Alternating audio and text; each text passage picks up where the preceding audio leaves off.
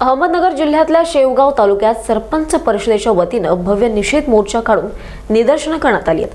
थेट जनतेतून सरपंचाची निवड प्रक्रियेचा निर्णय राज्य सरकारने रद्द केला. त्यामुळे महाविकास आघाडीच्या विरोधात सरपंच परिषदेनं निषेध मोर्चा काढलाय. शेवगाव तालुक्यातील डॉक्टर बाबासाहेब आंबेडकर चौकातून हा मोर्चा तहसील कार्यालयावर नेण्यात आला.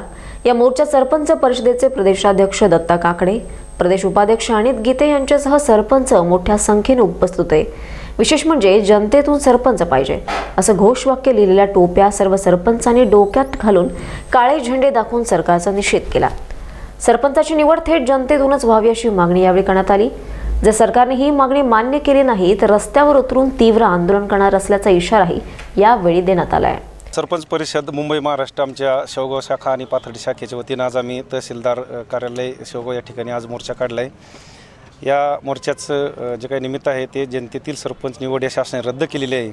मी प्रथमतः या अ, महाआघाडी सरकारचा निषेध करतो. आम्ही अनेक वेळा सरकारच्या अनेक मंत्र्यांना भेटून जाहीर निवेदनं दिली.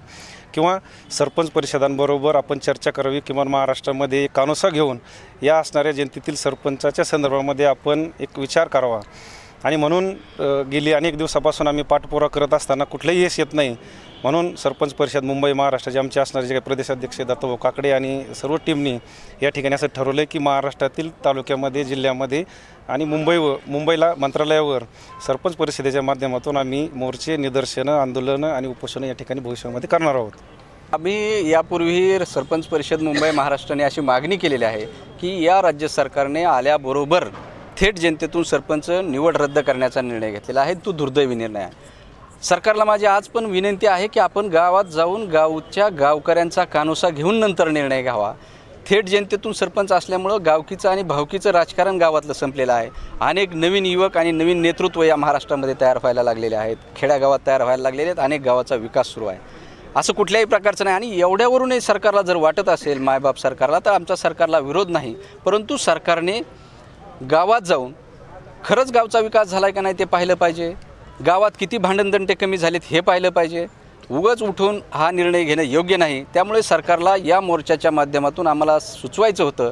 आणि हा मोर्चा सरकारच्या विरोधात नसून सरकारने जो निर्णय घेतला आहे त्याच्या विरोधात आहे. किंवा सरकारला असं वाटत असेल की गावातल्या लोकांचा याला विरोध आहे का नाही तर सरकारने थेट गावात जाऊन आपल्या एक कमिटी निर्माण करून त्याच्यामार्फत गावात जाऊन सर्व लोकांचा कानोसा घ्यावा आणि नंतर हा निर्णय लागू करावा. तोपर्यंत शासनाने हा निर्णय लागू करू नये. जर निर्णय लागू केलाच तर महाराष्ट्रातल्या सर्व तहसीलवर असे मोर्चे निघतील. आणि आता हा सरपंचाचा मोर्चा आहे. यानंतर लोकसुद्धा शासनाच्या विरोधात मोर्चा काढतील.